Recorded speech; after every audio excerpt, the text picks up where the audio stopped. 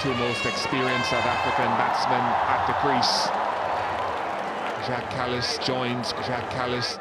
Sometimes you make comparisons and you wonder some guys would score runs in, in different eras. I have no doubt that whatever era Jacques Kallis played in, he would have been a success. Nice. That is a lovely piece of timing from Kallis. The thing about Kallis is that you hardly ever see him trying to overhit the ball. It's about timing and placement. And that would have sent a little reverberation through the dressing room of South Africa. Beautifully played. Just a punch off the back foot, opening the blade as well to get it through the gap. Four runs to Jacques Kallis.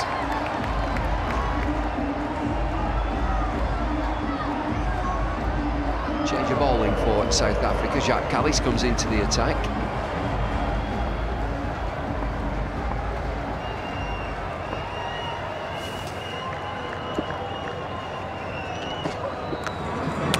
Edge taken. Kallis uh, doesn't miss many. Fabulous cricket by the South Africans uh, and the supporters love it. It's a big one as the pressure's been mounting. As expected, Jacques Kallis, the next man in for South Africa.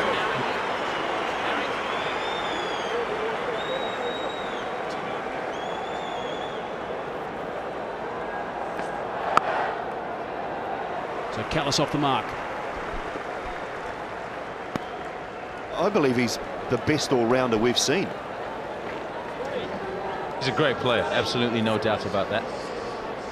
He's um, served South Africa really well and continually from the time that he turned up into the team.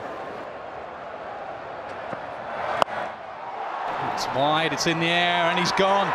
What a wicket. Exceptional bowling. Again, it's uh, caught by no other. Yeah, Jacques Kallis. Great slip fielder, but he's also equally talented on the fence. Reverse cut, comfortable as. And look at that. Look at that passion from the bowler.